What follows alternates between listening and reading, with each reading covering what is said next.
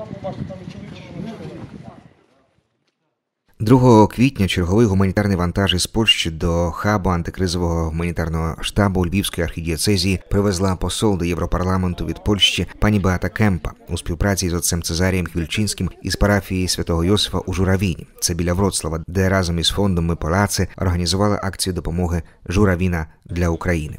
В Брюховичах пані Беата Кемпа зустрілася з єпископом Леоном Дубравським, ординарієм Кам'янець-Подільської дієцезії, а також священниками з антикризового штабу, черницями, які працюють у домі милосердя, а також із лицарями Колумба та волонтерами, які розподіляють гуманітарну допомогу серед біженців і відправляють продукти до охоплених активними воєнними діями регіонів України.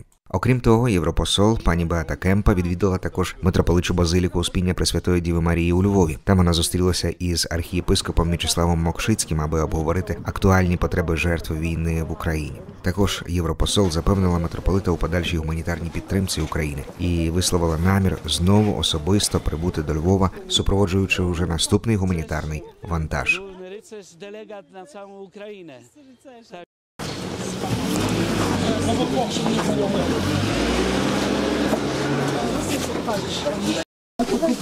Бо тут пан казав, що попередній раз що провезе. Tak?